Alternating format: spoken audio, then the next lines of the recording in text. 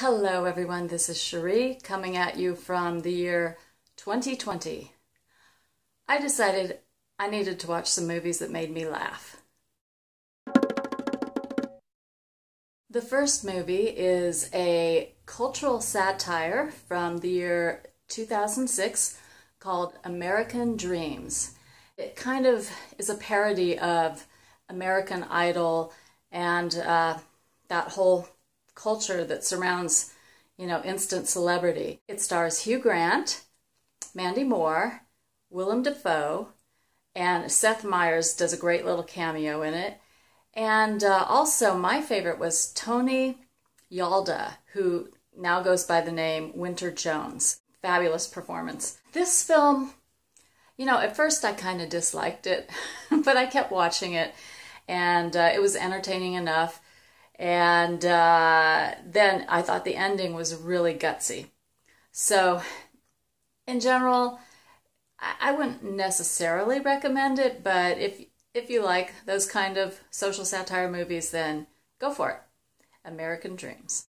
The next film is much older. It's from 1982, and it's called Dead Men Don't Wear Plaid, starring Steve Martin and Rachel Ward. This movie is black and white, and they kind of do this collage thing where they incorporate all these clips from old classic films, uh, black and white films. So you have a lot of stars like Humphrey Bogart, James Cagney, Veronica Lake, Lana Turner, Bette Davis, and they just kind of weave them throughout the storyline.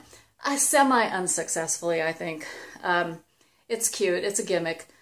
Um, it was the final film for costume designer Edith Head and composer Miklos Rozsa, um, which, you know, it's a great pedigree for an average film.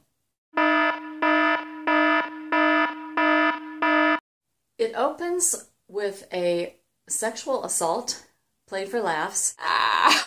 In today's world, you know, that that just wouldn't fly. That would be totally unacceptable to put this kind of scene in a movie.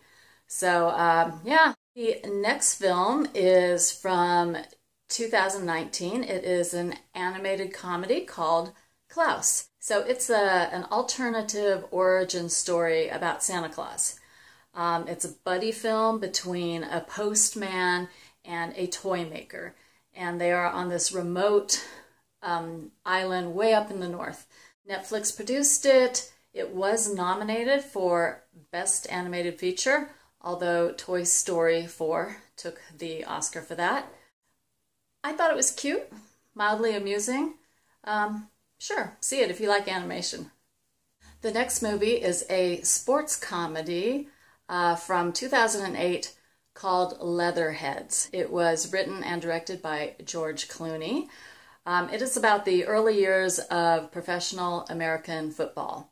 Renee Zellweger co-stars as a feisty reporter, and uh, it wants to be a screwball comedy, but it's it's not that funny. It's you know amusing at best.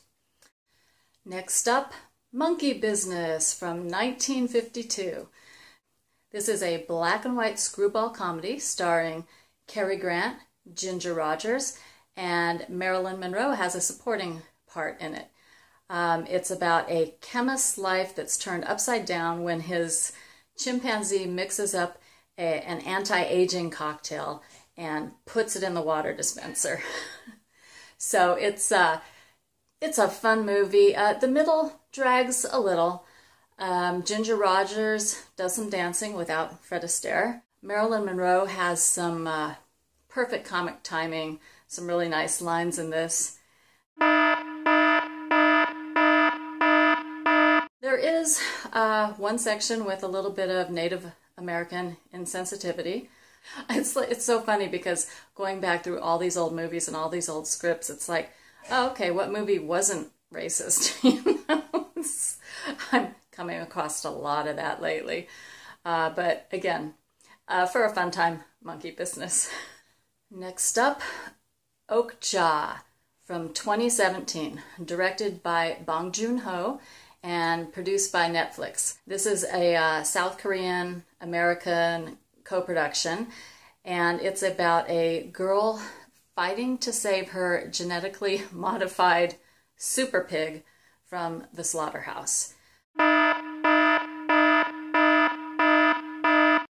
If you're not a vegetarian, you might want to become one after you see this. It's the slaughterhouse scenes are, are really graphic. There's a great supporting cast, lots of well-known actors. The way I found this was I had been searching for satires in Netflix and this came up and this was one of the movies that I had wanted to see. But you know, it's not so much a comedy, it's more action adventure, sci-fi, fantasy. Um, it has some comic moments. Um, but yeah, if you're looking for big belly laughs, this is not the movie. All right, and the last film, because I do talk about these in alphabetical order, it's called The Sin of Harold Diddlebock, and it's from 1947. It stars the silent screen actor Harold Lloyd, although this is a talkie. Opens with a, a football sequence, however, from one of his earlier silent films called The Freshman. And then at the end, there's also an homage to another film he did called Safety Last, the one where he's hanging off the clock. The movie is about a man who, after losing his job, uh, has a drink for the first time in his life, and the, the bartender just like pours everything into it, and then it just makes everyone who drinks it go crazy. And uh, it's it's a kind of a screwball comedy. Um, you know, it was cute, but it's not not really my thing. So wouldn't necessarily recommend it unless you really like those old uh, black and white kind of silent movie type films, even though again, it's not silent. And that's it for my week of comedy films. Um, the funny thing is, none of them really like made me laugh all the way through. Um, you know, most of them just had kind of comedic moments. They were amusing, but they they weren't really funny, haha. Um, I'd say out of all of them, Monkey Business was probably the funniest. So tell me what your favorite comedies are in the comments below, and I will see you in the next video.